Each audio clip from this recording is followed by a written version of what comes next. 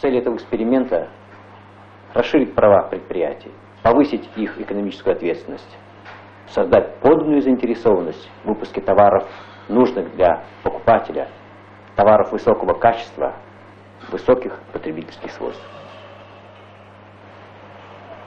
В Литве по программе эксперимента работают предприятия местной промышленности. Они выпускают сотни наименований различных изделий, которые пользуются большим и устойчивым спросом покупателей.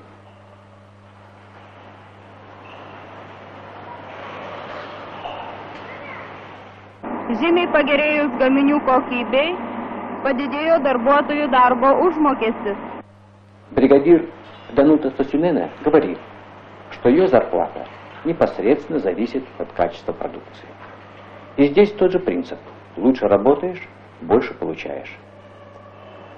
А у директора объединения Неринга Альгинатаса Матулявичуса свой взгляд на эксперимент.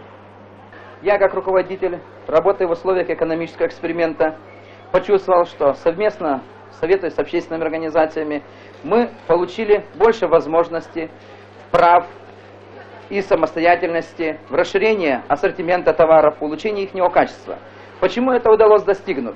Потому что в условиях экономического эксперимента мы имеем более мобильную возможность поощрять людей за труд как в количественном смысле, так и в качественном, за обновление ассортимента изделий, которые так нужны нашему покупателю.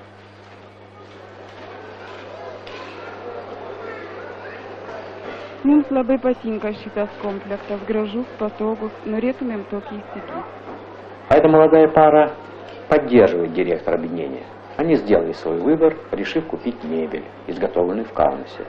Я думаю, что это будет счастливая покупка.